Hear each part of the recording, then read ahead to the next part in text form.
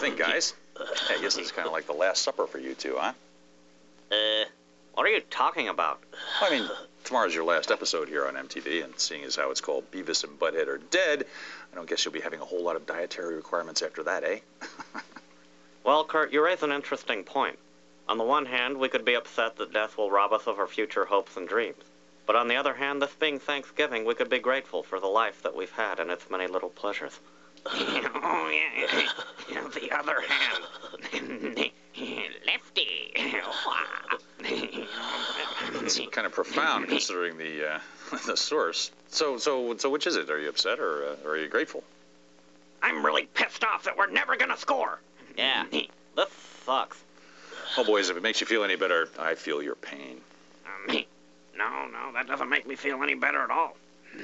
Yeah, Loder. Don't try to get all touchy-feely with us. Just 'cause it's a holiday doesn't mean we're gonna don any gay apparel. Uh, I don't know, maybe, you know, like a bracelet or something. I don't know. Okay, all right, all right. We're getting off the subject again. Look, I understand your last episode has a lot in common with some of the other great final episodes in TV history. MASH, Cheers, Mary Tyler Moore. The entire cast is on hand. Scenes from memorable episodes. A warm, cozy feeling of closure. yeah, it sucks. Yeah, yeah.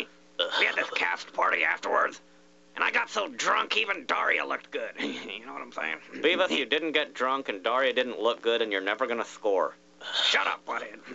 Dumbass. Come on. Thanksgiving, come on. Oh, uh, thanks. That's really more than we needed to know, I think. Let, let's just roll a clip, okay?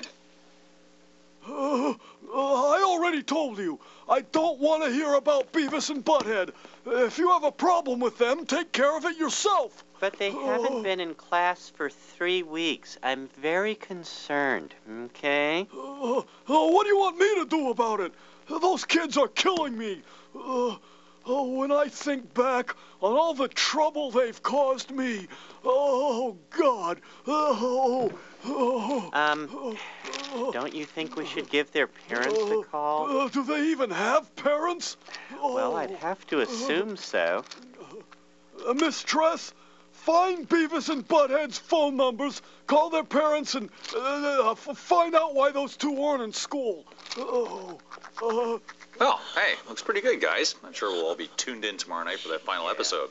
Let's get back to our Thanksgiving festivities. We've been asking some musicians of our acquaintance for their favorite Thanksgiving memories recently, and you know, you'd expect these people to be kind of hard-boiled about this holiday, right?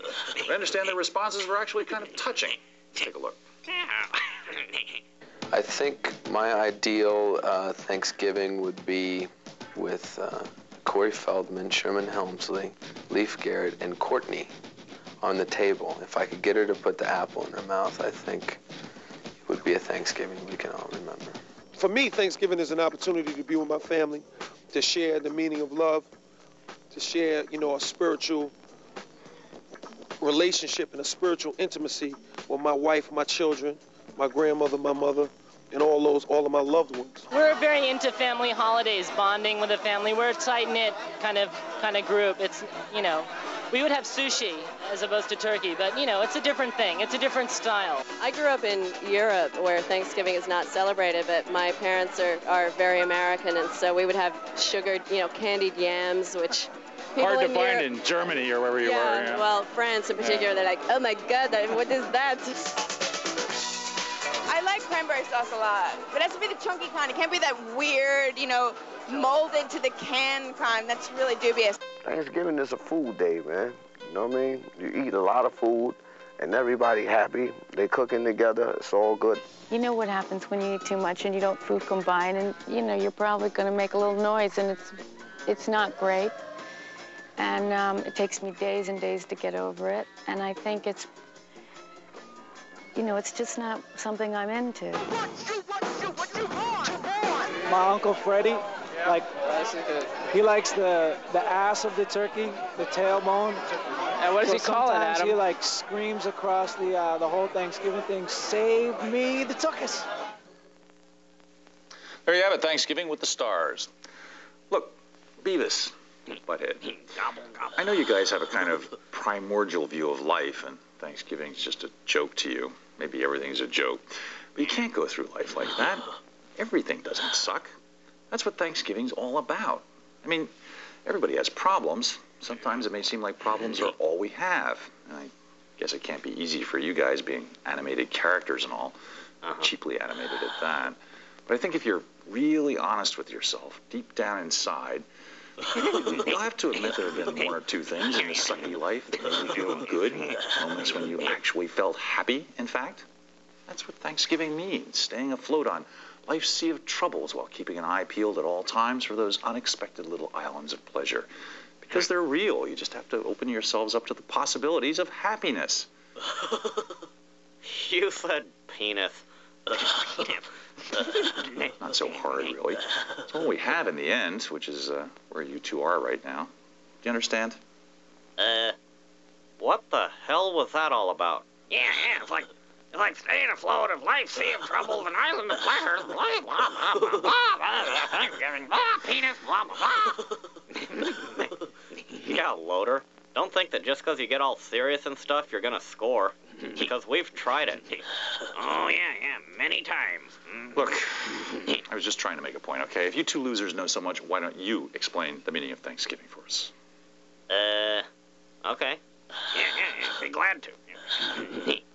Well, Loder, Thanksgiving is a very special day. The first thing we do is get up and watch TV. Now keep in mind that most television on Thanksgiving morning sucks. I'm sure our viewers today will agree on that. Yes, it sucks. But do we get mad? No. Instead, Yeah, we. yeah, yeah. We just keep changing channels until we find something cool. And sometimes it seems like you're never gonna find anything. L- l- Like everything's just gonna suck. And you may have to change channels for hours, but sooner or later you'll find something that doesn't suck. And it might only be a commercial with a chick in a bikini, or it might be a fist fight, or or something really cool like when animals attack. And then you say, you say, thank you, Lord, for this does not suck. So you're saying that's what life's all about? Damn it, Loder, you weren't listening. I'm saying that's what TV's like on Thanksgiving. But we keep watching.